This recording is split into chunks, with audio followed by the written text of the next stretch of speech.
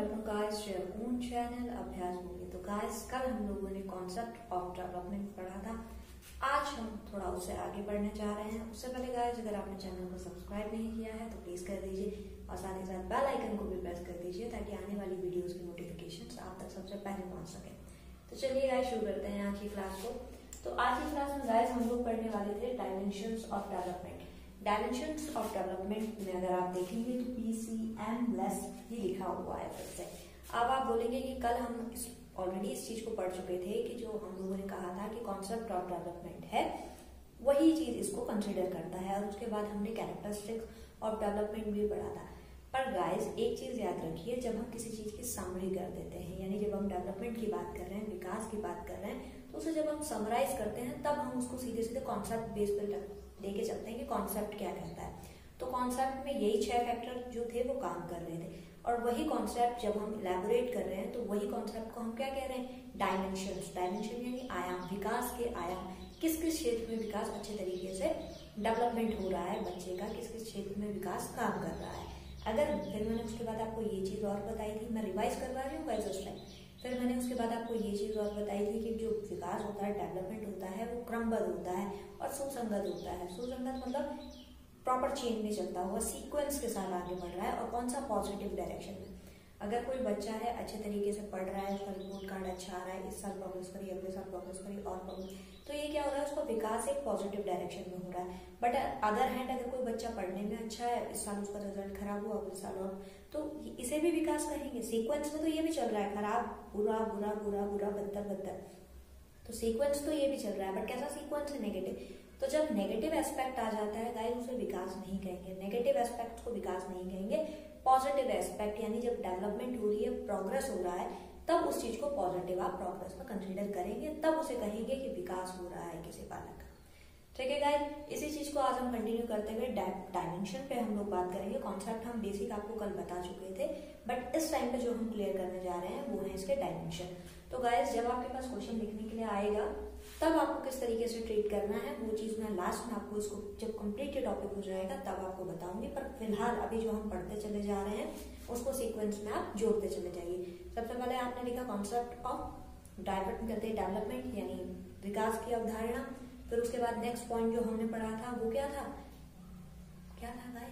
दूसरा क्या था? दूसरा पॉइंट अभिलक्षण कैरेक्टरिस्टिक्स ऑफ़ डेवलपमेंट ठीक है? और जो तीसरा पॉइंट अब हम पढ़ने जा रहे हैं, हम लोग पढ़ने जा रहे हैं डायमेंशन ऑफ़ डेवलपमेंट ठीक है? तो डायमेंशन ऑफ़ डेवलपमेंट क्या कहता है गाइस कि जिस भी दिशा में विकास हो रहा है, उन दिशाओं को बांट दिया जाए।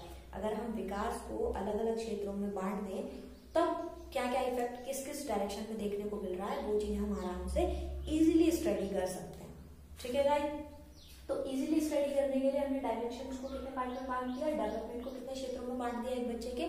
छह। ये बेसिक्स हैं गाइस अब इसके भी सब कहते हैं सब पार्ट हो सकते हैं. फ़िलहाल जो मेन है, जो मेन फोकस है, जो मेन ब्रांचेस है, वो ये छह है. सबसे पहला जो गाइस आपको दिखाई दे रहा है, सबसे पहला पी बताया है, इसको याद करने का ट्रेड था पीसीएम लेस पी यानी फ़िज़िकल सी यानी कॉग्निटिव एम यानी मोटर एल यानी लैंग्विस्टिक यानी लैंग्वेज जिसको हम बोल सकते हैं E for emotional S for social तो एक तरह से ये गाइस एक्सप्लेन करते हुए पढ़ेंगे, यहाँ पे मैंने बहुत छोटे वर्ड में लिखा हुआ है, इसे समरी करके लिखा हुआ है बट इसे पूरा का पूरा मैं एक्सप्लेन करूँगी और एटलीस्ट इतना तो एक्सप्लेन करूँगी कि आप उसे अच्छे से समझ सकें और जब आपको क्वेश्चन लिखने के लिए आए तो आप उसे आराम से इलेबोरेट कर पाए।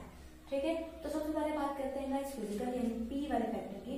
तो जब मैं फ़िज़िकल की बात कर रही हूँ गाइस फ़िज़िकल डेवलपमेंट की मैं बात कर रही हूँ तो फ़िज़िकल डेवलपमेंट में मैंने आपको कल भी बताया था कि कोई भी अगर बालक है, उम्र के साथ साथ उसके शारीरिक जो रूप होता है, उसमें भी बदलाव आते हैं। छोटा सा बच्चा है, जब उसने जन्म लिया, वो धीरे धीरे धीरे बढ़ना शुरू करता है। ठीक है? उसके हाइट में चेंज होते हैं, उसके वेट में चेंज होते हैं, उसके हाथ, पैर हैं, उसके बाल हैं। हर एक चीज़ उसकी ग्रो करती है, ठीक है? ग्रोथ होती है, उसमें डेवलपमेंट होता है, विकास होता है। उसके छोटे छोटे, छोटा बच्चा होता है, छोटे छोटे हाथ होते हैं, फिर धीरे धीरे बड़े होते हैं। उसकी हाइट पहले छोटी होती है, फिर वो धीरे धीरे बड़ा होता चला जाता है। उसके नेल्स है, पहले छोटे होते हैं, फिर बड़े होते हैं, बाल हैं, कान है। ठीक है? तो इस तरीके से बच्चा क्या है? धीरे धीरे डेवलप कर रहा है, धीरे धीरे बड़ा हो रहा है। तो जब बच्चा एज के अकॉर्डिंग बिल्कुल ठीक ठाक ग्रो करता चला जा रहा है, बढ़ता चला जा रहा है, उसकी हाइट में वृद्धि हो रही है वेट में वृद्धि हो रही है तो इसको क्या कहोगे उसमें क्या हो रहा है? बच्चे में डेवलपमेंट हो रहा है डेवलपमेंट यानी विकास। इतना समझ में आ गया? हाइट और वेट एज भी इसका एक फैक्टर है कि उम्र में भी डेवलपमेंट धीरे धीरे एज भी लगातार जैसे जैसे बढ़ेगी वैसे वैसे हाइट और वेट पे इफ़ेक्ट पड़ता चला जाएगा। ठीक है? एक छोटे में बच्चे का वेट सपोज़ करा पाँच साल की उम्र में अगर दस या बारह किलो का बच्चा है तो उसके बाद मैं जैसे कि एग्ज़ाम्पल बता रही हूँ, ज़्यादा या कम वेट होना स्वाभाविक है। वेट कितना भी हो सकता है गाइस उसमें हम कोई ये नहीं पाबंदी कर सकते कि पाँच साल के बच्चे का वेट दस किलो ही होना चाहिए या पंद्रह किलो ही होना चाहिए, वो वेरी कर सकता है अकॉर्डिंग टू हाइट ठीक है? जो उसकी हाइट होगी, उसके अकॉर्डिंग उसका वेट वेरी कर सकता है, ठीक है? तो फ़िज़िकल की कंडीशन जब आएगी तो हम लोग हाइट और वेट को लेके चलेंगे ठीक है जब फ़िज़िकल की हम बात करें अब इसमें गाइस एक पॉइंट मैंने और लिखा है एक्सटर्नल और इंटरनल जब फ़िज़िकल डेवलपमेंट की हम बात कर रहे हैं फ़िज़िकल ग्रोथ की हम बात कर रहे हैं तो अब आप बोलोगे कि इसमें इंटरनल और एक्सटर्नल का क्या रोल आया? अभी तक तो हाइट वेट तो बाहरी फैक्टर है सीधे सीधे एक्सटर्नल दिख रहा है बच्चा। बड़ा हो रहा है उसके हाथ, पैर बढ़ रहे हैं तो ये तो बाहर से दिख रहा है। पर नहीं गाइस इसमें एक्सटर्नल और इंटरनल लिखने का जो मेन पर्पज है, एक नॉर्मल सी बात है, एक छोटा सा बच्चा है। हाथ, पैर शरीर के बाहर की बनावट को हम लोग उसके देख रहे हैं एक्सटर्नल फैक्टर बट उसके अंदर जो उसका दिल है, जो उसके लंग्स हैं, जो उसकी किडनी है, जो इंटरनल ऑर्गन्स हैं, जब वो छोटा है तो वो भी छोटे हैं। तो क्या आप बोल सकते हो कि अगर कोई बच्चा एक साल का और उसके बाद वो सीधा उन्नीस साल बाद आपको मिले, बीस साल का होगा तो दोनों के जो हार्ट का शेप था और बड़े वाले के हार्ट का शेप था वो इक्वल रहेगा? छोटे बच्चे का जो उस टाइम पे किडनी का शेप था, उस टाइम पे भी किडनी का शेप सेम रहेगा?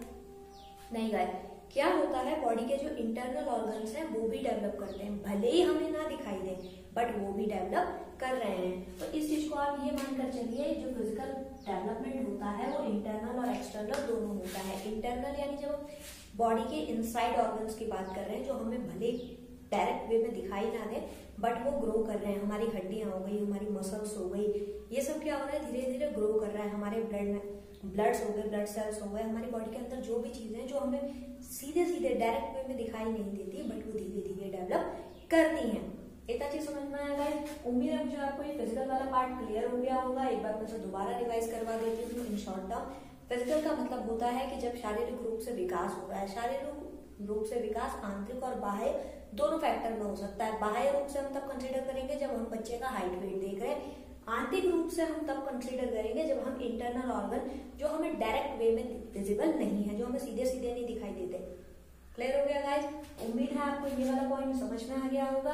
अब हम बढ़ रहे हैं अगले पॉइंट की तरफ़। अगला पॉइंट है गाइज़ हमारा कॉग्नेटिव कॉग्नेटिव की जब मैंने बात करी थी गाइज़ कॉग्नेटिव का मतलब मैंने आपको पहले भी बताया था, संज्ञान। संज्ञान यानी नॉलेज ठीक है?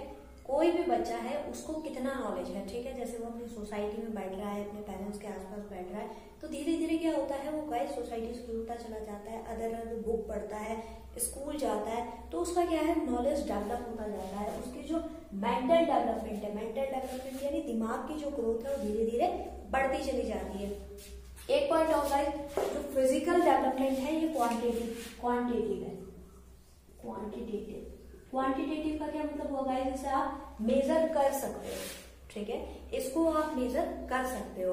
बट अब, अगर मैं बात करूँ कॉग्निटिव की मेंटल डेवलपमेंट की मेंटल डेवलपमेंट के लिए आईक्यू जैसा फॉर्मूला तो आता है कि बच्चे के अंदर कितना उसका बुद्धि लगती बट इस बिहार पे आप ये जज नहीं कर सकते कि अगर कोई बच्चे का आईक्यू कम है या ज़्यादा है तो सिर्फ़ ये हो सकता है कि वो पढ़ाई में वीक हो या पढ़ाई में तेज हो।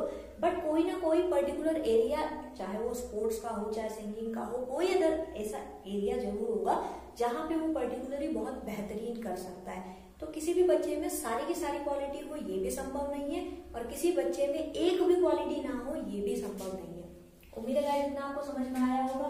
तो कॉग्निटिव की जब मैंने बात करी, मैंने आपको क्लियर बता दिया कि इसका सीधा सा मतलब क्या है? मेंटल डेवलपमेंट से मेंटली लेवल पे बच्चा कितना डेवलप होता चला जा रहा है, जिस चीज़ को वो पढ़ रहा है, कितना वो उसे सीख रहा है।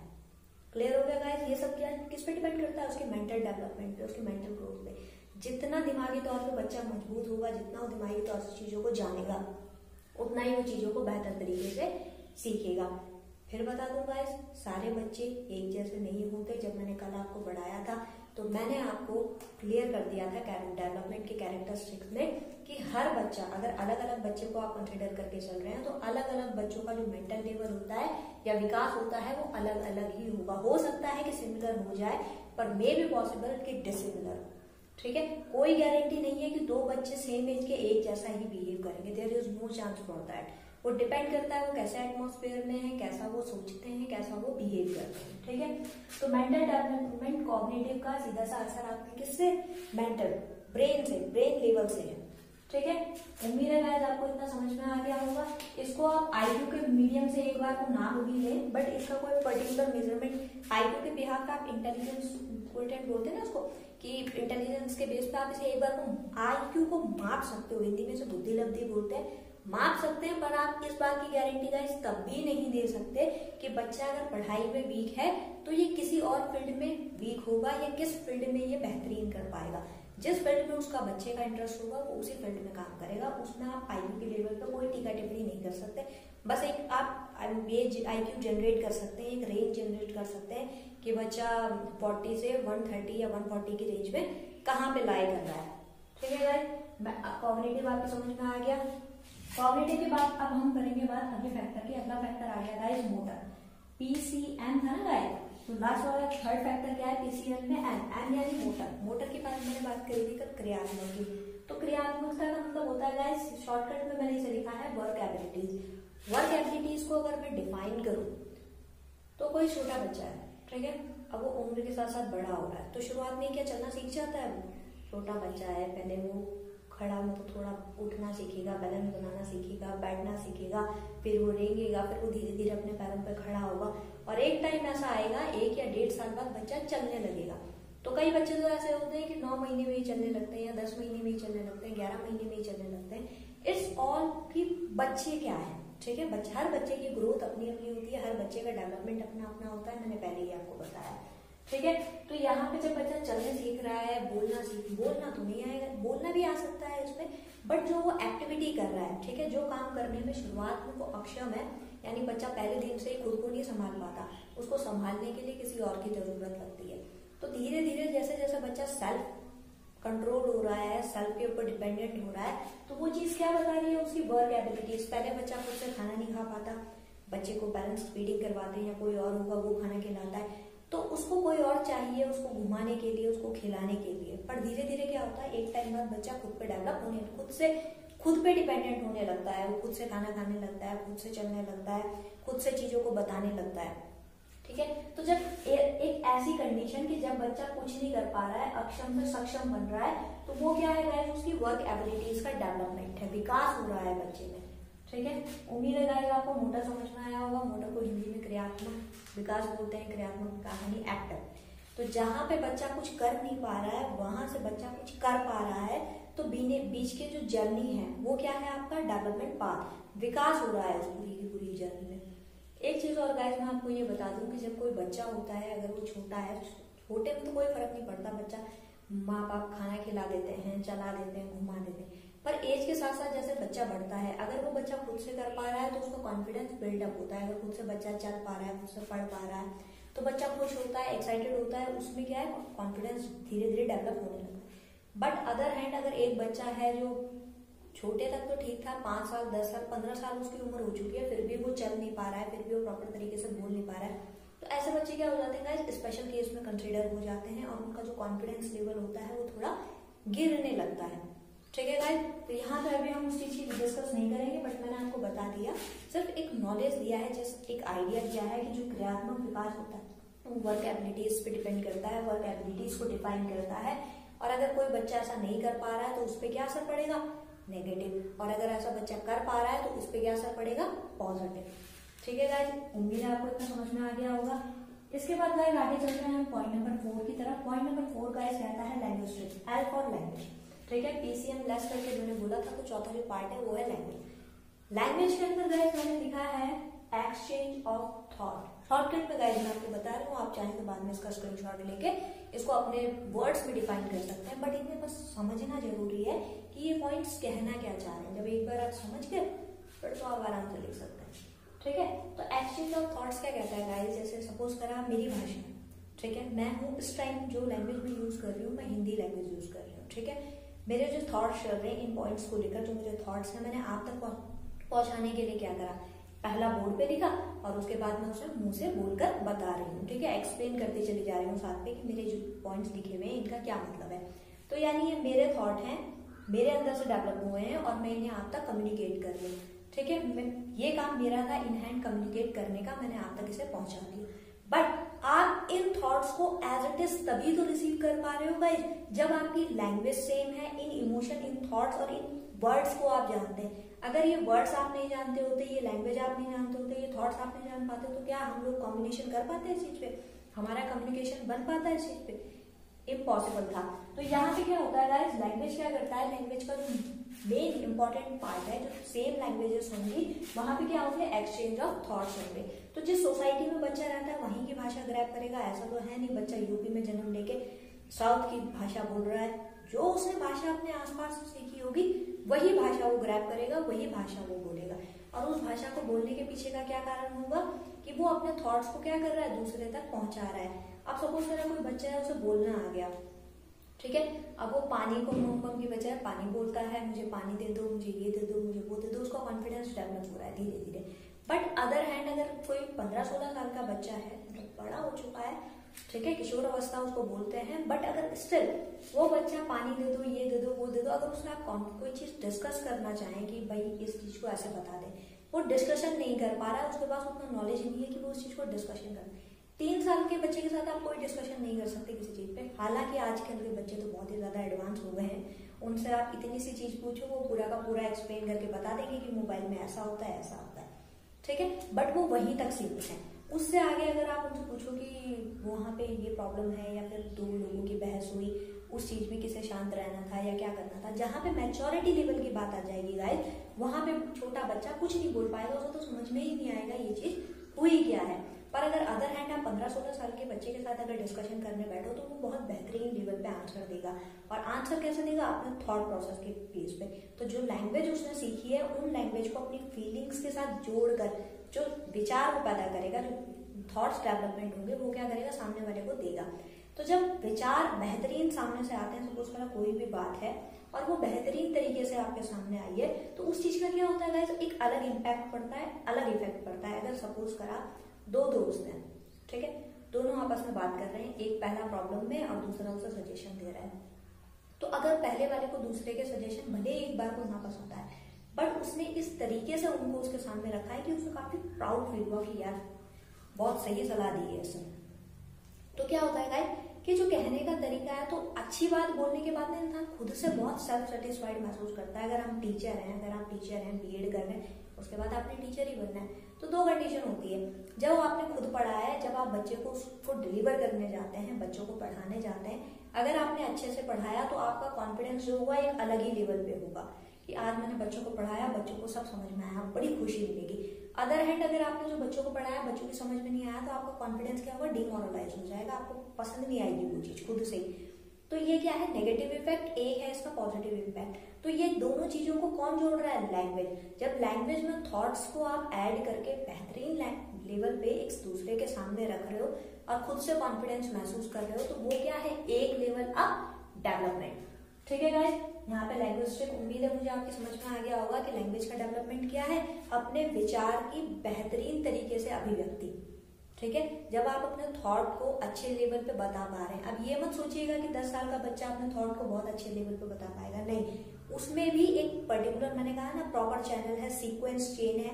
तीन साल का बच्चा, एक साल का बच्चा मम मम करता है, तीन साल का बच्चा शब्दों को जोड़ देता है, मुझे पानी चाहिए, मुझे पानी दे दो, या पानी दे दो, खाना दे दो। वर्ड्स जोड़ पा रहा है ना वो तो वो उसमें क्या है? डेवलपमेंट दस साल का बच्चा कंप्लीट बताएगा, नहीं, मुझे आज ये नहीं, मुझे ये खाना है। तो पहले पानी दे दो, मुझे खाना दे दो और मुझे ये नहीं, ये खाना है। तो ये सीक्वेंस में चला है ना गाइस पहले पहले साल में ऐसा तो नहीं होगा ना कि बच्चे ने पहले अपने डिमांड लगानी शुरू कर दी हो कि नहीं, मुझे ये नहीं खाना, मुझे ये चाहिए। सेंटेंस नहीं बोल पाता है शॉर्ट शॉर्ट वर्ड में काम चलता है। तो जब वो अपने वर्ड्स को जोड़ पा रहा है, एक सेंटेंस कन्वर्ट कर पा रहा है और सेंटेंस कन्वर्ट होने के बाद उसे थॉट के साथ मिक्स कर कर एक अच्छे लेवल पे प्रोसीड कर पा रहा है तो उस कंडीशन में क्या आ जाता है गाइस डेवलपमेंट ऑफ़ लैंग्वेज यानी उसमें भाषा का विकास बहुत अच्छे तरीके से हो सकता है। जितने भी हमारे साहित्यकार होते हैं, जो पोएट्री वगैरह लिखते हैं, जो बुक्स वगैरह लिखते हैं, वो क्यों ऐसा लिख पाते हैं? क्योंकि उनकी लैंग्वेज में इतनी बेहतरीन कमांड हो जाती है कि अपने सोच को उन शब्दों के जाल में पिरोते हैं और आपके सामने रखते हैं और आप लोग खुश कि, अरे वाह, क्या बेहतरीन बात बोली तो लैंग्वेज का डेवलपमेंट जितना अच्छा किसी इंसान में होगी, उसकी मैच्योरिटी लेवल उतनी ही बेहतरीन तरीके से होगी, क्योंकि उसके पास शब्दकोश इतना बड़ा हो जाएगा। ठीक है गाय उम्मीद है आपको इतना समझ में आया होगा। इसके बाद आगे बढ़ते हैं। अगला जो पॉइंट है, ये है आपका फिर पॉइंट इमोशन ठीक है? यहाँ से आप लगातार देखते जाइए। कुछ नहीं छोड़ रहे बी सी एम एल हो गया ई e हो गया। अब ई e पे हम लोग आ चुके हैं। ई e में गाइस क्या होता है? ई की बात होती है इमोशनल की ठीक है इमोशनल इमोशनल का मैंने सीधा सीधा लिखा है फीलिंग इमोशंस की शायद नहीं आपको पता चले इमोशन और फीलिंग दोनों एक ही चीज़ है, भावना है, संवेग. हिंदी में से क्या बोलते हैं? संवेग या भावना. तो यहाँ पे क्या होता है जो छोटा बच्चा होता है, वो क्या करता है? उसे कोई भी चीज़ चाहिए, आप नहीं दे रहे हैं. वो क्या करेगा? रोने लग जाएगा. नहीं नहीं, मुझे तो यही चाहिए, मुझे तो यही चाहिए, मुझे यही चाहिए. उसका अपने इमोशन पे कंट्रोल नहीं है, उसका अपनी जिद पे कंट्रोल नहीं है, उसका अपनी डिमांड पे कंट्रोल नहीं है। बस उसे जो चाहिए, उसे कोई फ़र्क नहीं पड़ता वो कितने की है, कितने की नहीं है, मुझे वो चाहिए तो चाहिए। ठीक है? अदर हैंड थोड़ा और बड़ा बच्चा हो जाता है, उसका अपने इमोशन पर कंट्रोल आ जाता है, वो कोशिश करता है कि बातचीत करो, घर वालों को मान जाते हैं तो अच्छा है, नहीं मानते तो क्या करें? हमारे टाइम पर होता था ना गाइस एक बार कि बेटा तुम टेंथ पास कर दो, तुमको घड़ी मिलेगी, तुम ट्वेल्थ पास कर दो, तुम्हें साइकिल मिलेगी, वो लालच, जो प्रलोभन दिए जाते थे।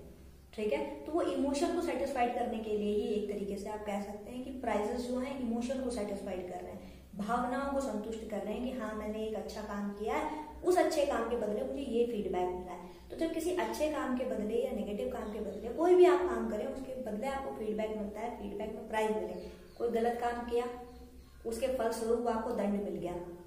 कोई अच्छा काम करा उसके फलस्वरूप आपको कोई पुरस्कार मिल गया। तो पुरस्कार और दंड दोनों क्या है? एक पॉजिटिव और नेगेटिव एस्पेक्ट है ये डिपेंड करता है कि बच्चा उसको किस तरीके से लेता है। तो उसके इमोशन पे इस चीज़ का डायरेक्ट असर पड़ता है, ठीक है? तो छोटा बच्चा मैंने आपको बताया, दो से तीन साल का वो क्या करेगा? जिद करेगा, नहीं नहीं मुझे यही चाहिए यही चाहिए यही चाहिए। फिर आठ से दस साल का बच्चा थोड़ा सा मैच्योर हो जाता है तो कोशिश करता है, मैं नॉर्मली बातचीत करूँ। फिर पंद्रह सौ, सोलह साल तक की एज तक बच्चों की जिद खत्म होने लगती है। फिर उसके बाद अट्ठारह से बीस साल की उम्र तक उन्हें जो चाहिए होता है, उन्हें पता होता है कि क्या मुझे चाहिए और किस चीज़ की मुझे ज़रूरत है। तो नीड और रिक्वायरमेंट दोनों में उनको डिफरेंस पता चल जाता है, ज़रूरत और जो उनको चाहिए। ठीक है, एक उनका डिमांड है और एक एक चीज़ की उन्हें नीड है। वो उन दोनों के बीच का डिफरेंस कर पाते हैं और बहुत आराम से इस चीज़ को टैकल कर लेते हैं, अपने इमोशंस को टैकल कर लेते हैं। उनकी जो फीलिंग्स है, उनके कंट्रोल में आती है। धीरे धीरे कई लोग तो इमोशनल इतने होते हैं कि वो अपनी फीलिंग्स मतलब क्या बोलूँ, पचास साठ साल तक भी कंट्रोल नहीं कर पाते हैं। यूजुअली हमारी माता जी ऐसे होती हैं। थोड़ी सी कोई बात हो जाए या फिर लेडीज़ डिपार्टमेंट का जैसे होता है ना इमोशन का उन लोगों पे क्या, उनके पास इमोशन भर भर के होते हैं।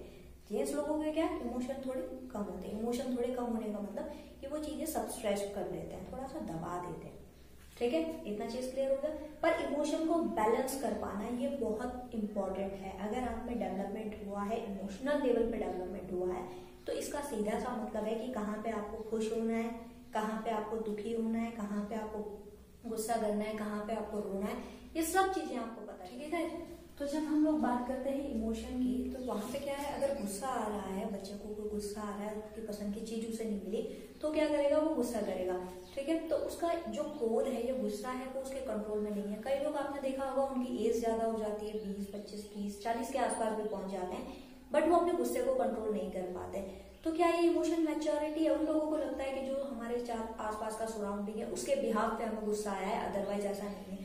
बट मैच्योरिटी का मतलब गाइस यही है कि आपके जो इमोशंस हैं, आपके अपने कंट्रोल पे हैं। आपको चारों तरफ़ की वजह से गुस्सा नहीं आता है। आप स्वयं से गुस्सा करना चाहते हैं, इसीलिए आप गुस्सा कर रहे हैं, तब वो मैच्योरिटी है। अगर आप गुस्सा नहीं करना चाहते, सामने वाला क्या कर रहा है, क्या नहीं, इस बात का फ़र्क नहीं पड़ता। आपका सेल्फ पे कंट्रोल है। मैं चाहता हूँ, मैं गुस्सा करूँ तो मेरा खुद पे कंट्रोल है। मैं चाहता हूँ, मैं गुस्सा नहीं करूँ, मैं नहीं करूँगा, ये मेरा मुझ पे कंट्रोल है। तो जब मेरी फीलिंग मेरे इमोशन मुझ पे डिपेंड करते हैं और मेरे डिसीजंस को फॉलो करते हैं, तब जाके मेरे में मैच्योरिटी है। मैच्योरिटी वो कंसिडर नहीं होगी कि सामने वाला कुछ बोल रहा था, मुझे गुस्सा आ गया। तो ये फीलिंग आपके अपने हाथ में कंट्रोल नहीं, सामने वाले की सिचुएशन पे कंट्रोल है कि सिचुएशन जैसी होगी, वैसे आप हो जाएँगे। तो ये कंट्रोल आपका अपने पे नहीं सिचुएशन का आप पर है। ये बहुत बारीक पॉइंट है गाइस आजकल हम लोग इस चीज़ को नेग्लेक्ट करके चलते हैं। हम लोगों को लगता है कि बस जो हम कह रहे हैं, वही सही है। हम कह रहे हैं, वही सही है का मतलब कि हमारी मेंटल लेवल इस तरीके की हो चुकी है कि हमारा जो इमोशनल लेवल का डेवलपमेंट है, वो शायद हम लोग देखना एक बार भूल गए तो उसको एनालाइज करना, बच्चे का वो डेवलपमेंट एनालाइज करके आगे चलना।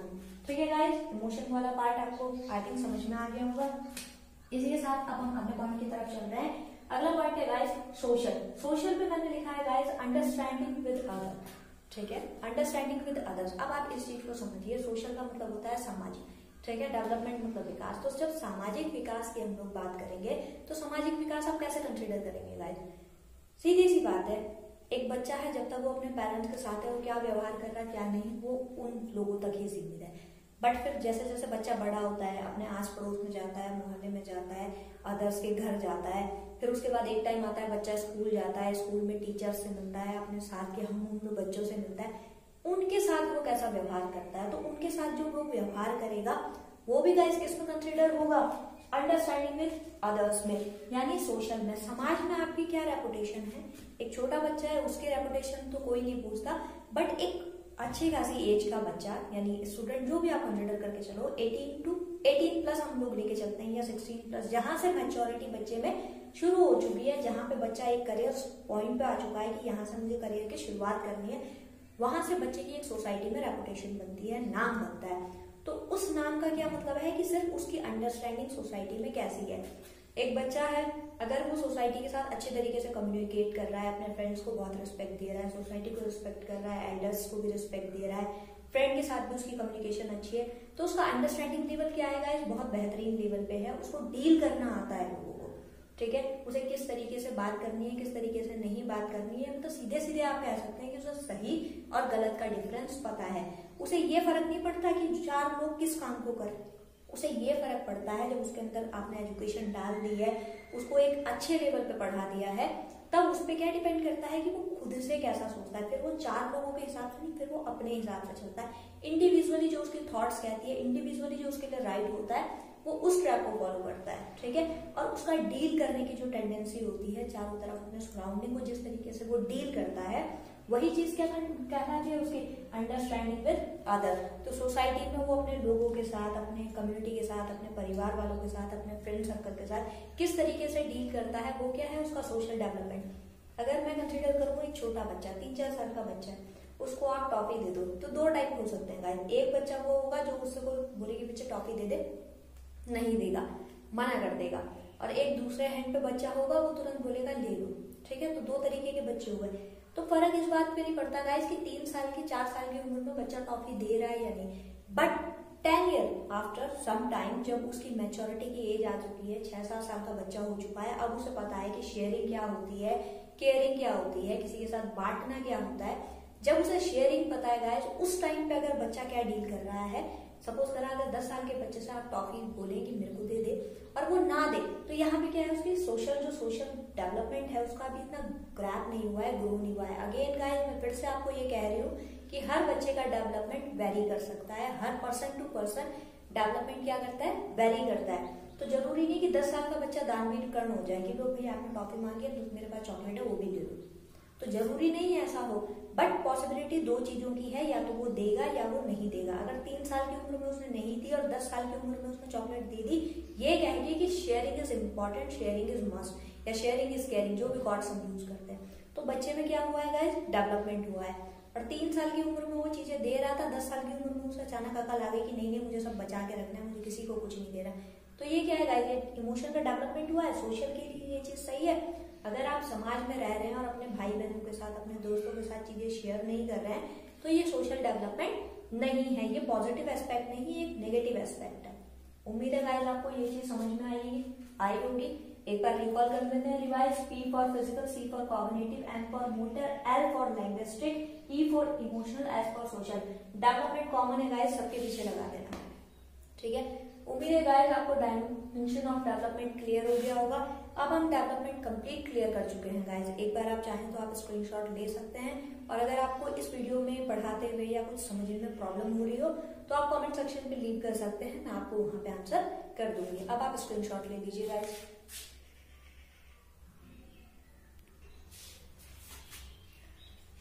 गाइस उम्मीद है मुझे जितना मैंने अभी तक आपको पढ़ाया, उतना आपको सब समझ में आया होगा. इसके बाद गाइस अब वीडियो काफ़ी लंबी हो चुकी है। इसके बाद जो नेक्स्ट राउंड चलेगा, उसमें हम लोग पढ़ेंगे ग्रोथ को। तो गाइस एक चीज़ मैं आपको और क्लियर कर दूँ, जब हम लोग ग्रोथ को पढ़ेंगे तो वहाँ पे आप अटेंटिव रहिएगा, क्योंकि डेवलपमेंट और ग्रोथ में ज़्यादा डिफरेंस नहीं है, पर कितना डिफरेंस है और क्या डिफरेंस है, ये हम आगे वीडियो वाले में पढ़ेंगे। Thank you for like share and subscribe your own channel जय Mahadev.